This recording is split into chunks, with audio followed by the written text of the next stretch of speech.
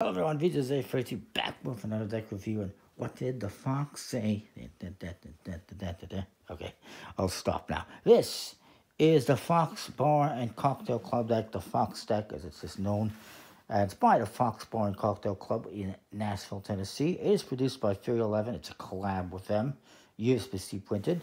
The tuck case is foiled and embossed as you can see. And says established in 2017, East Nashville, Tennessee. The Fox Bar and Cocktail Club playing cards, made in the USA with Fear 11 logo and the Fox logo. Says the Fox Bar and Cocktail Club on the sides with some kind of artwork in the center.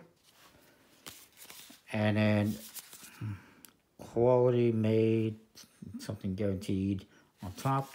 The seal, unfortunately, was a little bit loose, so it's a bit messed up, but it is what it is.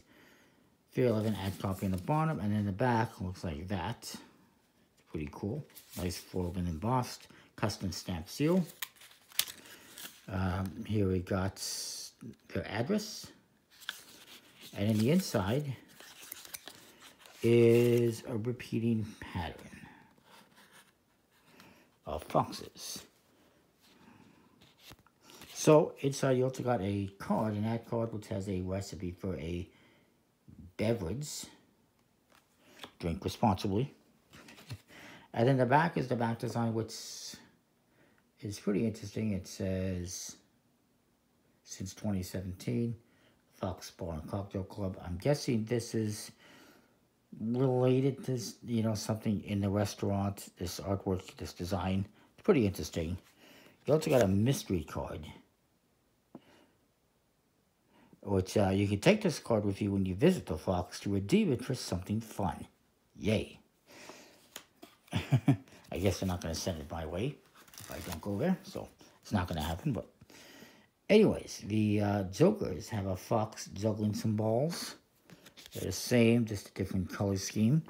I should mention these, this deck was uh, designed, completely designed by Fox co-owner Andrew Cook. So thumbs up for that. Ace of Spades, a couple of foxes chasing each other. That says the Fox Bar Cocktail Club, Nashville, Tennessee. And cards themselves, kind of an Arco-style pip. The court cards are customized, however, they are repeating court cards. You'll see the other court cards are the same. They're fox people. nice pips, though, and nice enough artwork and everything. Now, I got this one from their website. You can buy it on their website. I can't remember if I saw it anywhere else, like eBay. I don't think so.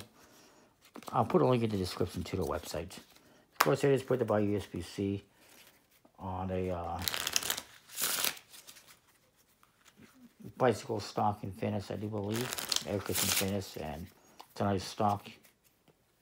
It's pretty interesting. I know some people are not thrilled with the back design. It's fine for what it is. And the phases are pretty nice, even if they're repeating.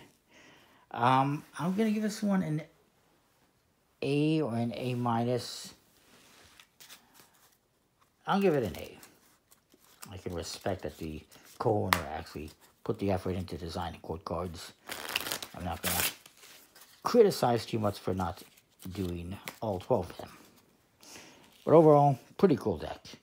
Comment, like, subscribe, let me know what you think. We'll see you next time for more. Thanks for watching. Link in the description to where you can buy it if it's still available.